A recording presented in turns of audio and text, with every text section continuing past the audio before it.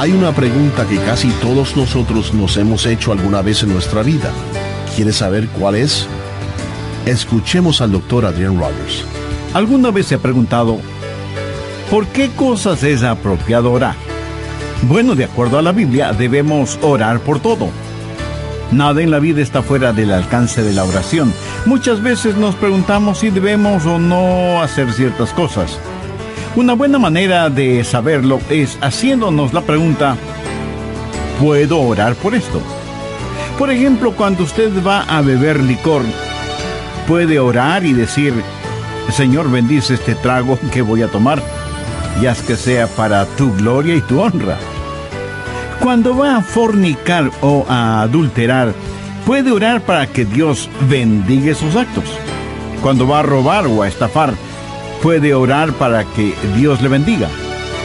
Absurdo, ¿no le parece? Saludos y bienvenidos una vez más a El Amor que Vale, el Ministerio Radial del Dr. Adrián Rogers. Todos necesitamos aprender a orar más, a mejorar nuestra vida de oración. Ahora, una de las razones por las que no oramos mejor y más de lo que hacemos es porque tenemos preguntas acerca de la oración. Y esas preguntas causan incertidumbre que a veces nos neutralizan, por lo que practicamos la oración muy a la ligera. En este mensaje, el doctor Adrian Rogers, en la voz del pastor Lenín de Llanón, va a contestar algunas preguntas acerca de la oración.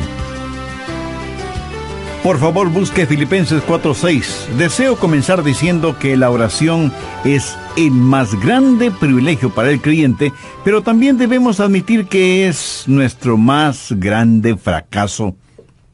Todos, y me incluyo yo también, necesitamos aprender a orar más, a mejorar nuestra vida de oración. Ahora, una de las razones por las que no oramos mejor y más de lo que hacemos es porque tenemos preguntas acerca de la oración. Y esas preguntas causan incertidumbre que a veces nos neutralizan, por lo que tratamos o practicamos la oración muy a la ligera. ¿Qué es lo que Dios nos dice por medio de Filipenses 4, 6 y 7? Por nada estéis afanosos, sino sean conocidas vuestras peticiones delante de Dios en toda oración y ruego con acción de gracias. Y la paz de Dios, que sobrepasa todo entendimiento, guardará vuestros corazones y vuestros pensamientos en Cristo Jesús. ¡Qué magnífica promesa! Ahora usted no tiene que entender la oración para poder orar. El famoso Alberto Einstein, antes de morir, dijo que esperaba entender lo que la luz y la electricidad es. Usted puede ver cómo algo trabaja, pero no lo entiende. Einstein, por ejemplo, no entendería totalmente la luz que ilumina un gran escenario deportivo. Y si usted cree que lo entiende es porque tiene una visión simplista. Porque usted no entiende lo que es la luz en su esencia qué es y cómo trabaja. Pero no tiene que quedarse sentado en la oscuridad solo porque no entiende lo que es la luz, ¿verdad? Usted puede gozar de la luz y beneficiarse de lo que la electricidad hace. Luz para iluminar su casa, oficina o negocio y electricidad para que funcionen los electrodomésticos, el sistema de sonido, la computadora y la televisión. Hay algunas preguntas válidas acerca de la oración y en esta área ninguna pregunta es más importante que otra. Así que el mensaje de hoy no va a ser en realidad un mensaje en el sentido tradicional, sino más bien respuestas a varias preguntas relacionadas con la oración. Espero que esto le sea de beneficio espiritual. Muchas veces me preguntan, Pastor, ¿por qué debemos orar? siendo que Dios ya sabe nuestras necesidades. ¿Por qué decirle lo que Él ya conoce o pedirle que haga lo que Él ya ha determinado hacer? Bien, veamos Mateo 6, los versos 7 y 8. Jesús dijo, y orando, no uséis vanas repeticiones como los gentiles, que piensan que por su palabrería serán oídos. No os hagáis pues semejantes a ellos, porque vuestro Padre sabe de qué cosas tenéis necesidad antes de que vosotros le pidáis. Entonces, si Dios ya lo sabe, ¿por qué pedirle algo que Él ya conoce? Óigame, no oramos para impresionar a Dios, Usted no será escuchado por su palabrería, ni por su lenguaje florido. Si un hijo terrenal puede hablar con su padre terrenal, usted puede hablar con su padre celestial. Tampoco ora para informar a Dios. Usted no le puede decir nada que Él ya no lo sepa. Usted ora para invitar a Dios. ¿Por qué debemos hacerlo?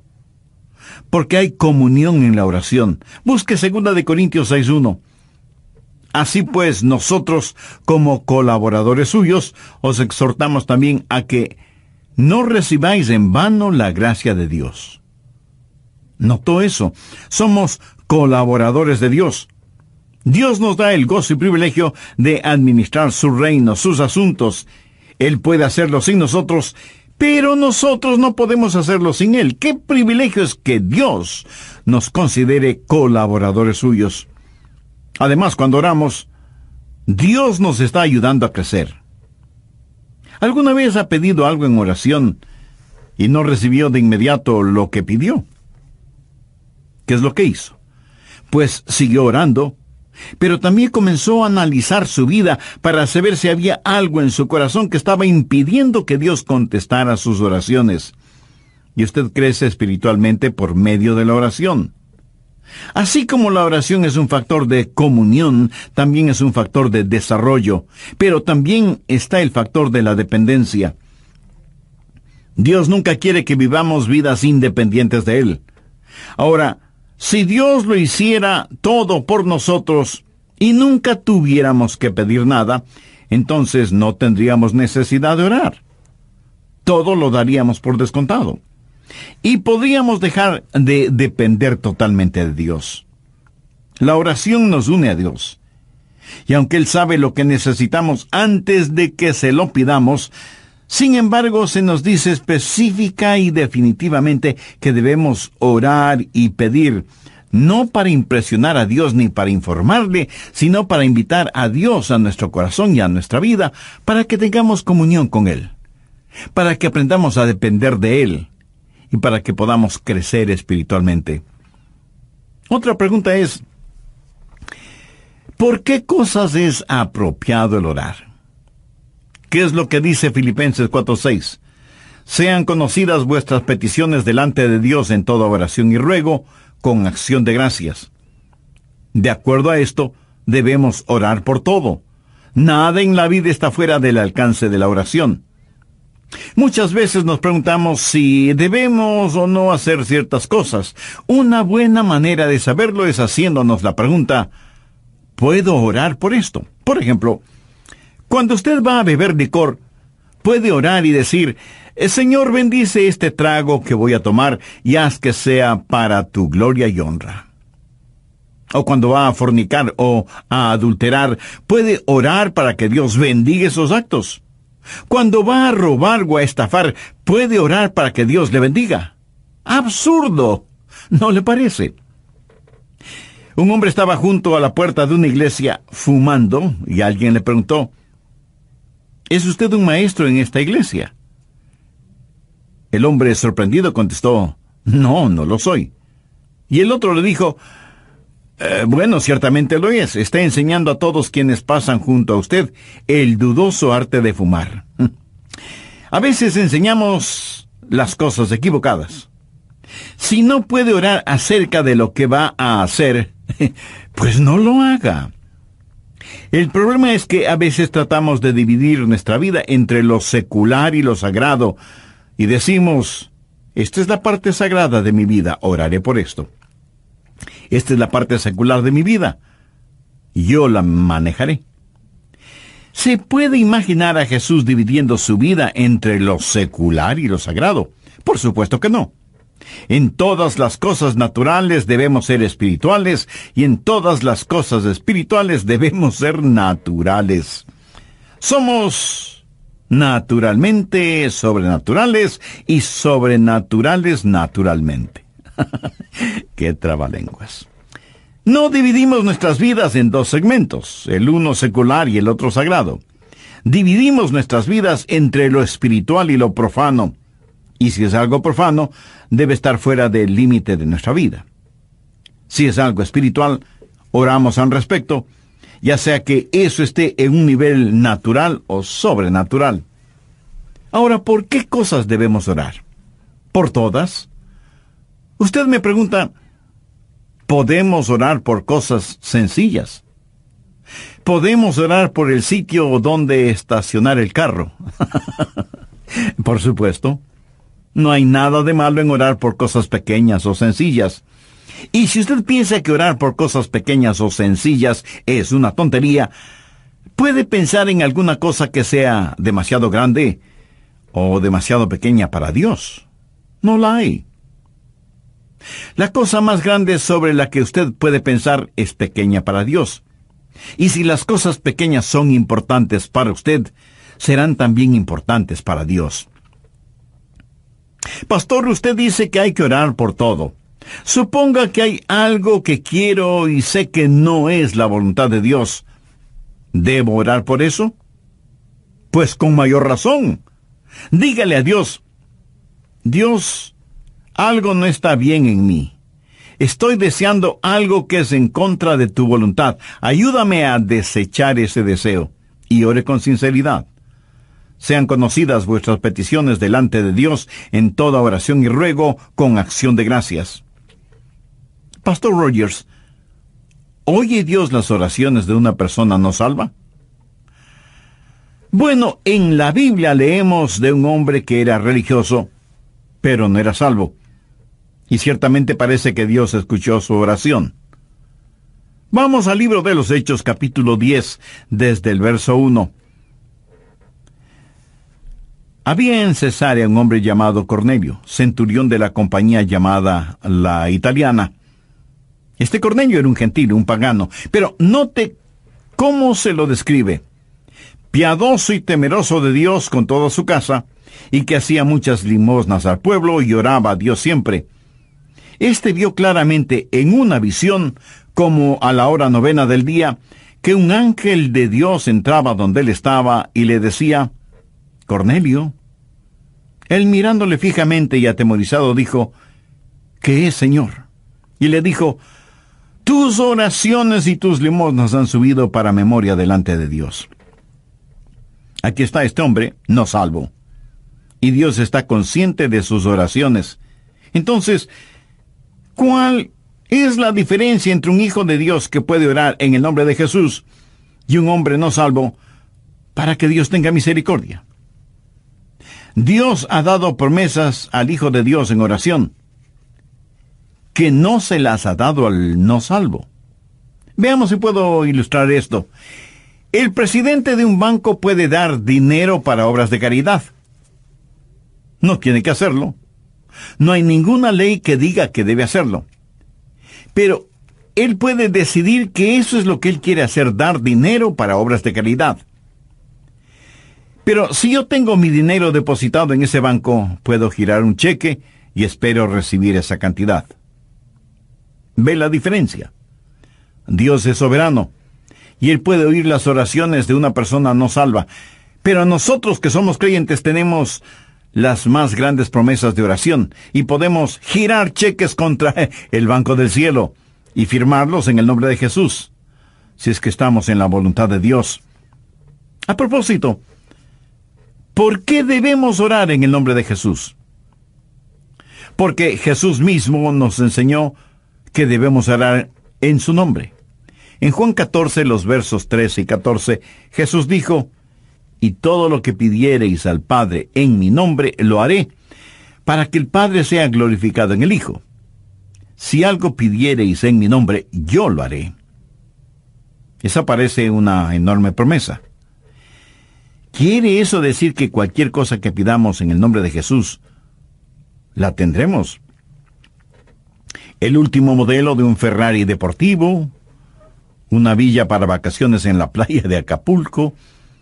¿Tendré estas u otras cosas si las pido en el nombre de Jesús? No. Entonces, pastor, ¿qué significa orar en el nombre de Jesús? El nombre de Jesús representa tres cosas. Primero, aprobación. O sea, Jesús aprueba eso.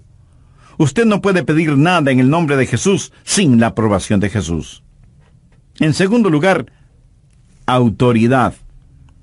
En las empresas, así como en las iglesias, hay personas encargadas de comprar lo que se necesita. Y para tener control de los gastos, alguien tiene que firmar las órdenes de compra y alguien tiene que firmar los cheques de pago. Usted no puede simplemente ir a un lugar y decir quiero esto y esto en el nombre de mi empresa o de mi iglesia. Usted debe tener algo que le autorice. Alguna autoridad debe estar respaldando su pedido. Orar en el nombre de Jesús significa que usted tiene una orden de compra que ha sido aprobada y firmada por Jesús. Ahora, hay que tener mucho cuidado con gente inescrupulosa que utilizando el nombre de Jesús se aprovecha de la ingenuidad, de la credulidad, de la falta de discernimiento de muchas personas, aún de creyentes, para con el cuento de en el nombre de Jesús y para ayudar a los demás, robarles el dinero. Lobos disfrazados de ovejas. Orar en el nombre de Jesús significa que es algo que Él ha aprobado, que Él ha autorizado, y tercero, algo con lo cual le aclamamos, es para su honor, es para su gloria.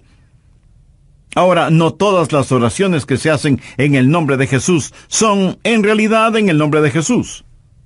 Por ejemplo, veamos Hechos 19, los versos del 13 al 17. Pero algunos de los judíos exorcistas ambulantes intentaron invocar el nombre del Señor Jesús sobre los que tenían espíritus malos, diciendo, Os conjuro por Jesús el que predica Pablo. Había siete hijos de un tal Ezeba, judío, jefe de los sacerdotes que hacía esto. Pero respondiendo el espíritu malo, dijo, a Jesús conozco y sé quién es Pablo. Pero vosotros, ¿quiénes sois?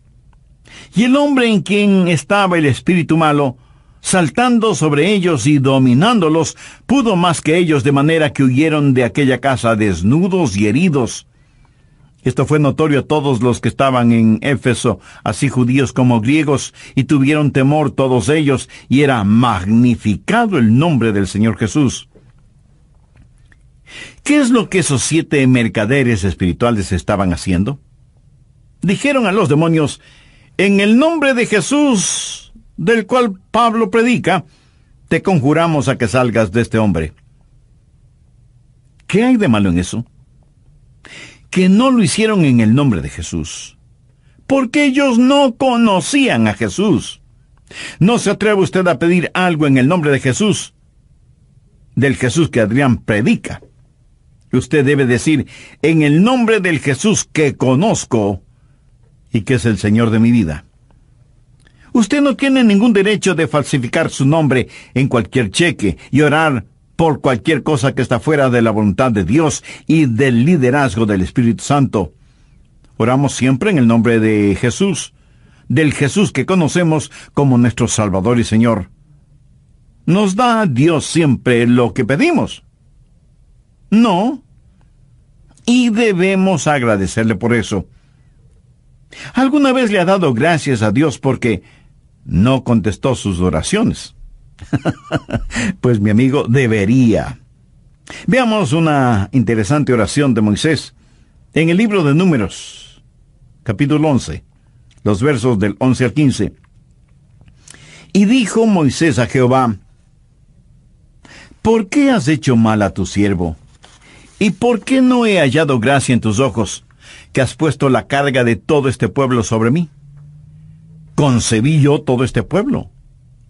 Lo engendré yo para que me digas, llévalo en tu seno, como lleva la que cría al que mama, a la tierra de la cual juraste a sus padres. ¿De dónde conseguiré yo carne para dar a todo este pueblo? Porque lloran a mí diciendo, Danos carne que comamos. Yo no puedo solo soportar a todo este pueblo, que me es pesado en demasía. Y si así lo haces tú conmigo, yo te ruego que me des la muerte, si he hallado gracia en tus ojos, y que yo no vea mi mal. Eh, terminaré este relato bíblico en el próximo programa. Ahora, antes de finalizar, quiero preguntarle, ¿qué le pide usted a Dios en oración? Pero creo que la primera pregunta que debo hacer es, ¿Conoce usted al Señor Jesucristo? Porque si no lo conoce en forma personal, ¿cómo podría orar en su nombre? Ahora mismo usted puede hacer una decisión que tendrá repercusiones eternas. Este mismo momento usted puede orar, Señor Jesús, vengo delante de ti para reconocerme pecador y perdido. Necesito tu perdón, necesito que me salves, necesito que me limpies. Te agradezco por el amor con que me amas. Agradezco que diste tu propia vida para perdonarme y salvarme. Ven a mi corazón ahora mismo. Te recibo como mi Salvador y mi Señor, para que tomes control total de mi vida. Lo pido en tu precioso nombre. Amén. Si usted hizo esa decisión espiritual, tenga la amabilidad de escribirnos al respecto para gozarnos espiritualmente con usted y para tener el privilegio de orar por usted y su nuevo caminar como hijo de Dios. Que el Señor le bendiga.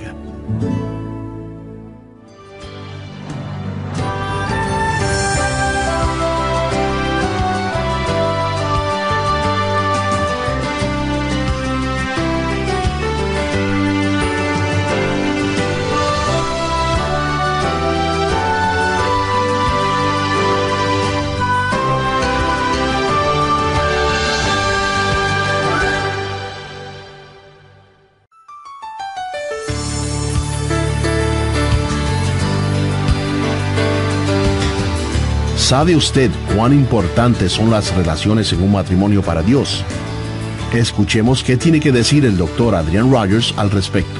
Permítame hacer una pregunta a esposos y esposas. ¿Fueron ustedes casados por un juez de paz? ¿O por el secretario de guerra? Veamos primera de Pedro 3:7. Vosotros maridos igualmente vivid con ellas sabiamente dando honor a la mujer como a vaso más frágil y como a coherederas de la gracia de la vida, para que vuestras oraciones no tengan estorbo. La clase de relación que usted mantenga con su cónyuge puede ser la razón de que sus oraciones no sean contestadas. Recuerde que si no aprendemos a perdonar a los otros, Dios no nos perdonará a nosotros. Y eso no lo digo yo. Lo dice Dios mismo en su palabra. A veces pedimos y nuestra oración no es contestada. ¿Por qué? La respuesta es simple. Porque hay pecado en nuestra vida. Veamos Isaías 59.2. Pero vuestras iniquidades han hecho división entre vosotros y vuestro Dios, y vuestros pecados han hecho ocultar de vosotros su rostro para no oír. En el programa de hoy, el doctor Adrian Rogers, en la voz del pastor León de Llanón, terminará de responder varias preguntas relacionadas con la oración. ¿Qué es lo que dijo Moisés de acuerdo al relato de Números capítulo 11, los versos del 11 al 15? Señor, si me amas, mátame. Si he hallado gracia delante de tus ojos, por favor, Señor, mátame. Esa fue su oración. Eso es lo que Moisés le pidió a Dios, que le quitará la vida. ¿Contestó Dios esa oración? No. Dios sabía que Moisés estaba sumamente presionado. Y no era el primer caso de estrés en la Biblia. Moisés estaba preocupado por sí mismo. Estaba sintiendo el síndrome de la autocomiseración. Algunas veces pedimos a Dios cosas equivocadas y es por eso que Dios no nos contesta. Y debemos agradecerle por eso. Ahora veamos Mateo 20, los versos del 20 al 22. Entonces se le acercó la madre de los hijos de Zebedeo con sus hijos, postrándose ante él y pidiéndole algo. Él le dijo, ¿qué quieres? Ella le dijo, ordena que en tu reino se sienten estos dos hijos míos, el uno a tu derecha y el otro a tu izquierda. Entonces Jesús respondiendo dijo, No sabéis lo que pedís. ¿Podéis beber del vaso que yo he de beber y ser bautizados con el bautizo que yo soy bautizado? Y ellos le dijeron, Podemos. Pero ellos, Santiago y Juan, Ni sabían ni podían. Ahora, note que el pedido para estar a la izquierda y a la derecha de Jesús en su reino no provino de ellos, sino de su madre. Y como toda buena madre, ella quería lo mejor, lo mejor de lo mejor para sus hijos. Y claro, muchas veces un amor ciego nos puede llevar a cometer actos egoístas. Muchas veces pedimos a Dios cosas que pensamos son buenas y correctas, pero sencillamente no lo sabemos. Esa es la razón por la que el Espíritu Santo tiene que interceder con gemidos que no pueden ser expresados. A veces pedimos y nuestra oración no es contestada. ¿Por qué? La respuesta es simple porque hay pecado en nuestra vida. Veamos Isaías 59.2. Pero vuestras iniquidades han hecho división entre vosotros y vuestro Dios, y vuestros pecados han hecho ocultar de vosotros su rostro para no oír. Salmo 66.18. Si en mi corazón hubiese yo mirado a la iniquidad, el Señor no me habría escuchado. Note que el salmista no dice, si he pecado, el Señor no me escuchará. Pero aún la inclinación del corazón hacia lo malo ya es pecado. Y Dios no nos escuchará. Si Dios contestara la oración de una persona que tiene iniquidad en su corazón, ¿sabe lo que Dios estaría haciendo? Animándonos a pecar. La razón por qué algunos no reciben contestación a sus oraciones no es porque piden lo que no deben pedir, sino porque hay pecado en sus vidas. Pero no quieren reconocer la existencia de ese pecado. ¿Qué acerca de su hogar? Esposos y esposas, ¿fueron ustedes casados por un juez de paz o por el secretario de guerra? Veamos primera de Pedro 3:7. Vosotros, maridos, igualmente, vivid con ellas sabiamente dando honor a la mujer como a vaso más frágil y como a coherederas de la gracia de la vida, para que vuestras oraciones no tengan estorbo. La clase de relación que usted mantenga con su cónyuge puede ser la razón de que sus oraciones no sean contestadas. Recuerde que si no aprendemos a perdonar a otros, Dios no nos perdonará a nosotros. A veces me preguntan, Pastor, ¿Cambia la oración la mente de Dios? Esta es una pregunta muy importante. Con claridad siempre respondo, no, la oración no cambia la mente de Dios. La oración no es para vencer la resistencia de Dios. La oración es para conocer y obedecer la voluntad de Dios. Veamos lo que dice Primera de Juan 5:14. Y esta es la confianza que tenemos en él que si pedimos alguna cosa conforme a su voluntad, Él nos oye. La única cosa que está fuera del alcance de la oración es aquella que está fuera de la voluntad de Dios. Dios no cambia. Usted no puede cambiar a Dios con sus oraciones, ni yo con las mías. ¿Por qué? Vamos a Primera de Samuel 15, 29. Además, el que es la gloria de Israel no mentirá, ni se arrepentirá, porque no es hombre para que se arrepienta. Esto significa que Dios nunca cambia, y en Malaquías 3:6 leemos, porque yo Jehová no cambio. Cuando oramos, Dios hará cosas que no las hará si es que no oramos. Pero aunque nuestra oración no cambia a Dios ni su carácter, sí afecta lo que Dios hace la Biblia claramente dice que que no tenemos porque no pedimos. Pastor, ¿qué debemos hacer si nuestras oraciones no son contestadas? Si ese es su caso, pues siga orando. Persista en la oración. El profeta Daniel había estado orando por algo por tres semanas. Escuchaba Dios las oraciones de Daniel. Veamos lo que nos dice Daniel 10, verso 12. Entonces me dijo, Daniel, no temas, porque desde el primer día que dispusiste tu corazón a entender y a humillarte en la presencia de tu Dios, fueron oídas tus palabras. Y a causa de tus palabras yo he venido. Un ángel vino como una respuesta para Daniel, quien estuvo orando por 21 días. Parecía que Dios no estaba haciendo nada. Ahora este pasaje bíblico es intrigante y enigmático. Se está desarrollando una guerra cósmica entre los ángeles de Dios y los espíritus demoníacos. Y el ángel viene y dice, tus oraciones fueron escuchadas cuando empezaste a orar hace tres semanas. O sea que Daniel por tres semanas estuvo orando persistentemente. Veamos rápidamente Lucas 18.1. También les refirió Jesús una parábola sobre la necesidad de orar siempre y no desmayar. Amigo, hay un tiempo en que debemos persistir en la oración, así como hay un tiempo en que debemos desistir de orar.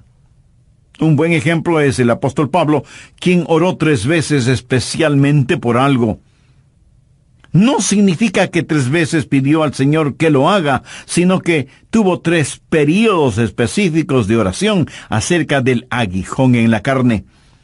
Y aunque Dios no le quitó ese aguijón en la carne, sí le contestó la oración, aunque de diferente manera.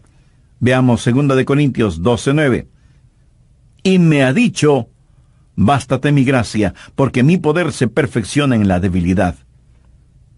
¿Cuál fue la reacción de Pablo? Por tanto, de buena gana me gloriaré más bien en mis debilidades, para que repose sobre mí el poder de Cristo. Pablo no dijo, lo que no puede ser curado debe ser soportado. Él dijo, me gloriaré en esto y agradeceré a Dios por esto. Dios no le concedió a Pablo lo que pidió, pero le dio algo diferente. Así que las demoras no son necesariamente negaciones, y si Dios le niega algo, no significa que está restringiendo su amor, sencillamente significa que le dará algo mejor. Otra pregunta muy frecuente es, ¿debemos esperar milagros cuando oramos? Permítame decir que no debemos adquirir el hábito de decir que Dios no lo puede hacer. La única cosa que Dios no puede hacer es pecar, mentir o negarse a sí mismo. Veamos Jeremías 32, 17. Oh Señor Jehová, he aquí que tú hiciste el cielo y la tierra con tu gran poder y con tu brazo extendido. Ni hay nada que sea difícil para ti.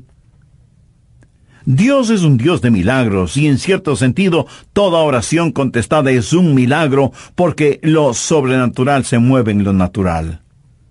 Pero hay otra clase de milagros, milagros en la naturaleza, como cuando Dios cambia el agua en vino y cura cánceres y da vista a los ciegos y todas esas cosas.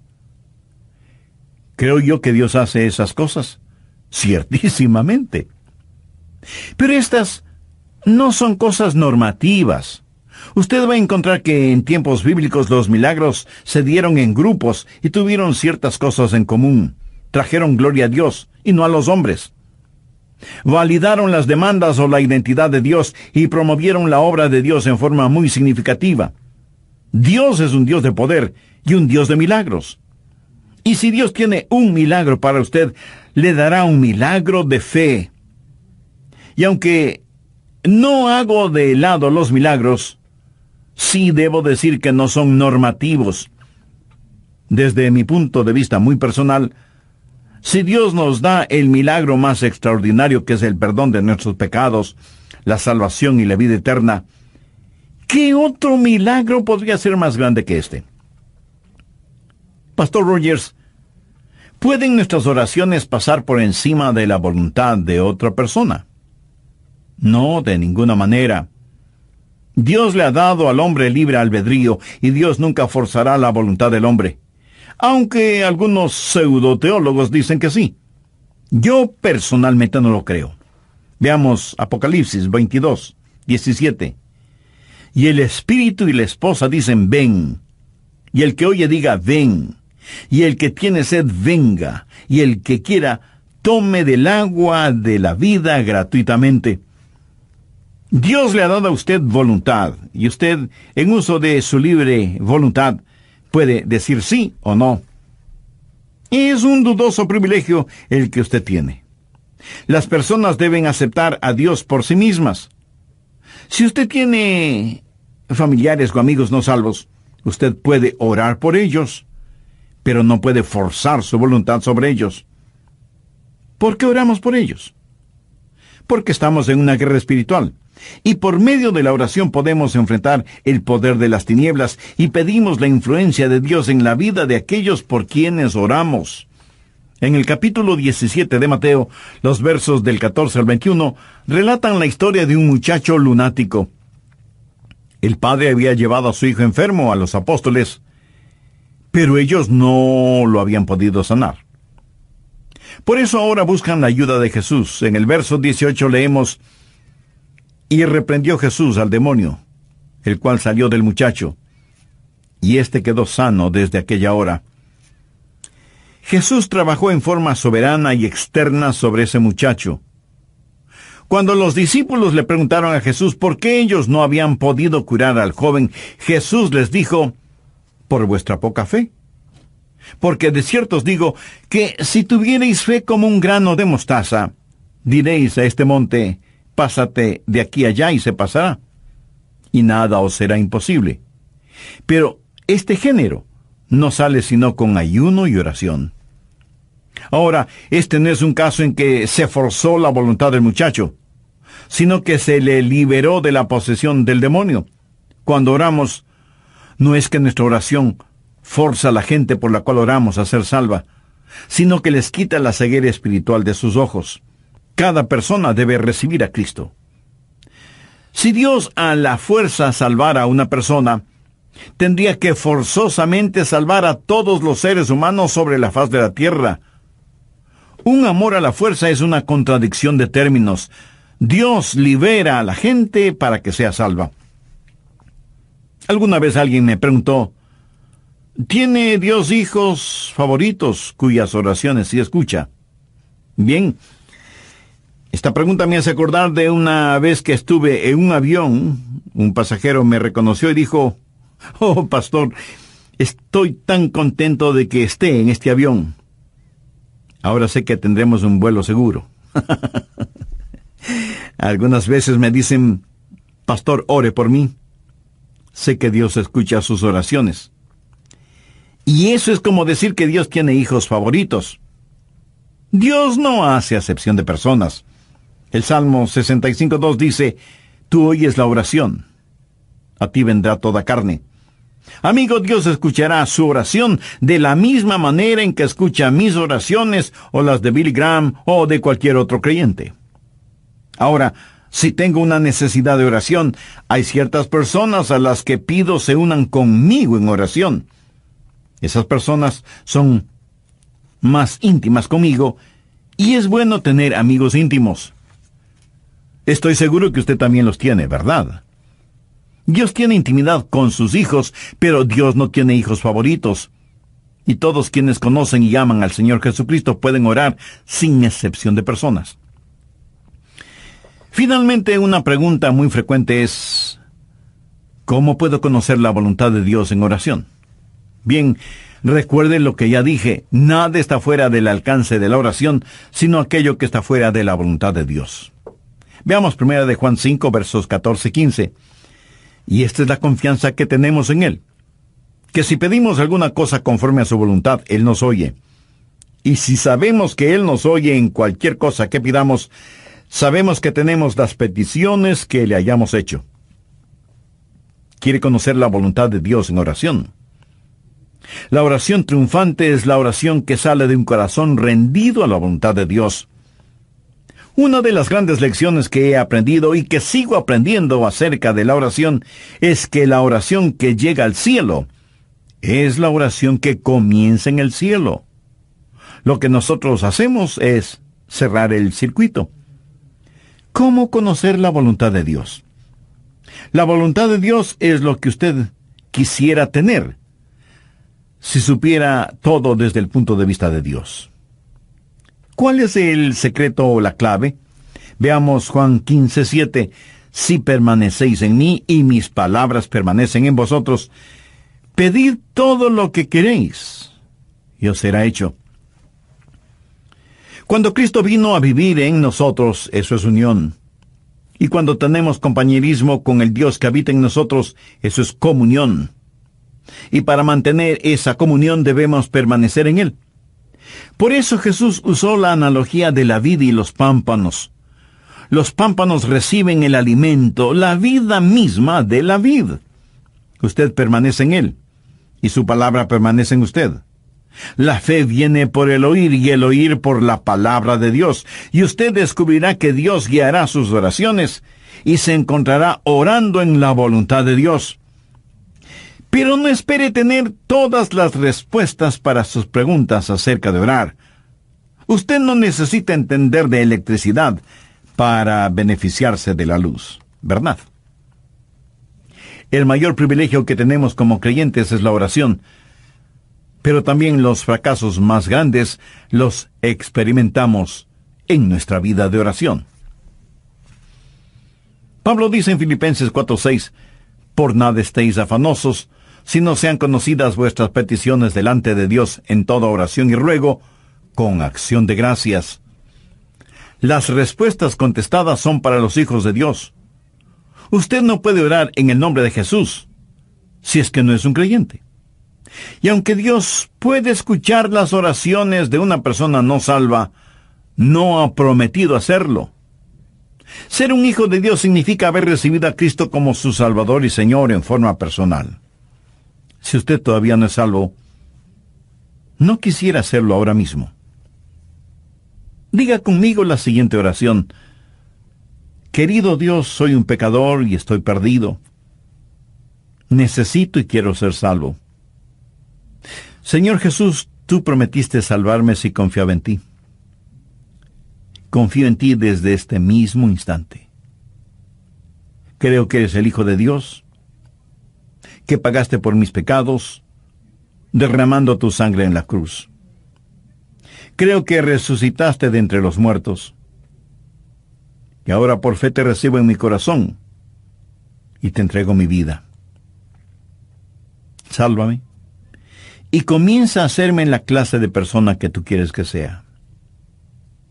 Y ayúdame a nunca avergonzarme de ti. Lo pido en tu nombre. Amén. Si usted en forma sincera, con profunda fe y convicción, hizo esa decisión de recibir a Cristo como su Salvador y Señor, estoy seguro que sentirá un gozo indescriptible en su corazón. Y nosotros anhelamos ser parte de ese gozo por lo tanto, le invito a que nos escriba contándonos al respecto y así tendremos también la oportunidad y el privilegio de orar por usted.